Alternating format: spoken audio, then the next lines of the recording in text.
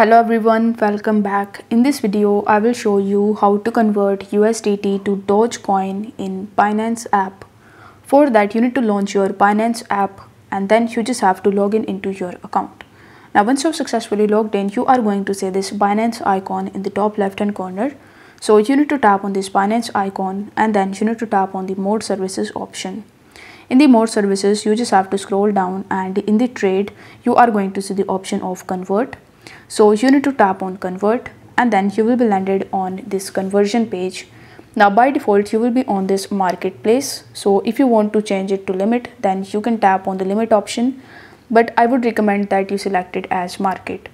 Now over here as we want to convert USDT into Dogecoin in the first section you will have to select USDT.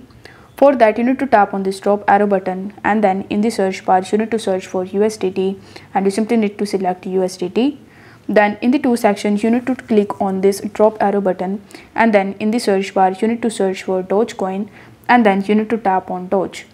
After that you will have to enter the amount of USDT that you want to convert into Dogecoin and then you need to tap on this preview conversion option in the bottom. Afterwards you are going to see the convert button in the bottom so you need to tap on the convert button within 10 seconds and this way you will be able to easily convert your USDT into Dogecoin. If the video was helpful then don't forget to like the video and subscribe to the channel. Thank you so much for watching.